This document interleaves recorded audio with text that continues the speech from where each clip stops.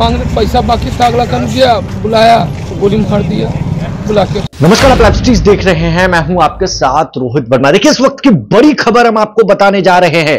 राजधानी पटना में फिर से अपराधी बेखौफ हो चुके हैं।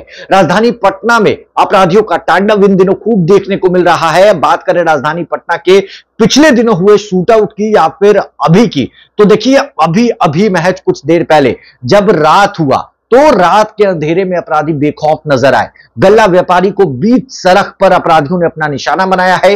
गोलियों से उन्हें भून दिया गया है।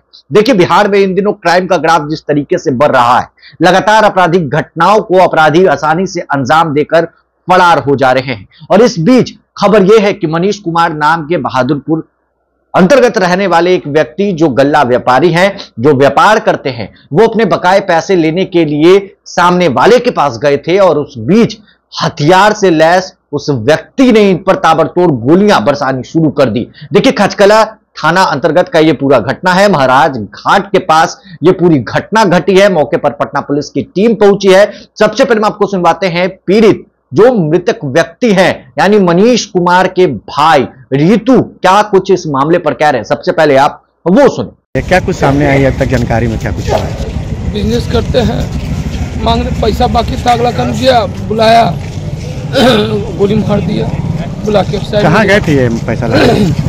खल खचकल्ला के पास गया था। क्या करते थे ये? इनका बिज़नेस है गल्ला का काम है। क्या नाम हुआ इनका? मनीष कुमार। कहाँ रहते थे ये? संदलपुर में। क्या किसी से दुश्मनी था आपसी रंजिश था इनको कोई पैसा बाकी था मांगे गए अगला रंग सेटिंग करके मार दिया इनको। कौन लगते थे आपके? ये बड़ा भाई हमारा। क्या नाम हुआ आपका?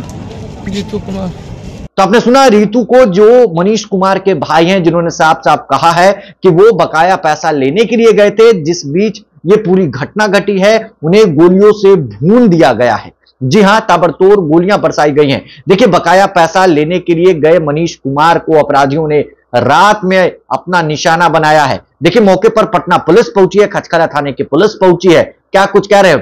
पुलिसकर्मी सबसे पहले आप वो भी सुने। ये अब तक अनुसंधान में क्या कुछ सामने आया और कारण क्या था सर गोली मारने का?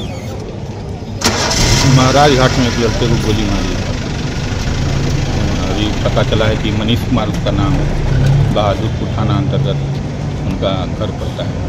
आगे हम लोग जाँच कर रहे हैं। क्या कारण से कहाँ पर ये गोली लगी है सर इसको? महाराज घाट नदी के रहने वाले कहाँ के थे बहादुरपुर थाना अंतर्गत। क्या लगता है सर कोई आपसी रंजिश है या हम लोग सभी उनके परिजनों से पूछताछ कर रहे हैं। जानकारी मिलने को बताया तो आपने सुना, खचकला थाने की पुलिस का कहना है कि मौके पर पटना पुलिस पहुँची है और छानबीन कर रही है। वो बकाया पैसा लेने के लिए गए थे और इस बीच ये पूरी घटना घटी है। देखिए, सीसीटीवी फुटेज को पुलिस खंगाल रही है। मामला को अब दर्ज किया गया है। अब आगे अनुसंधान में क्या पता चलेगा, ये देखने वाली बात होगी। जब खुलासे होंगे तो क्या बातें सामने आएगी? मगर उनके भाई का सीधा सीधा आरोप है कि बकाया पैसा लेने के लिए ये कारोबारी गए थे, यानी उनके भाई मनीष कुमार गए थे, जिन्हें बीच सड़क पर इस तरीके से भून दिया गया।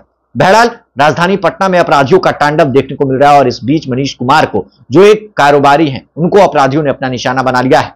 इस खबर में बस इतना ही। अगर आपने अब तक लाइव सीरीज़ को सब्सक्राइब नहीं किया है, जल्द से जल्द लाइव सीरीज़ को सब्सक्राइब कर ले। साथ ही साथ हमारे फेसबुक पेज को फॉलो करना, वीडियो को लाइक, शेयर करना बिल्कुल भी ना भूलें। धन्यवाद।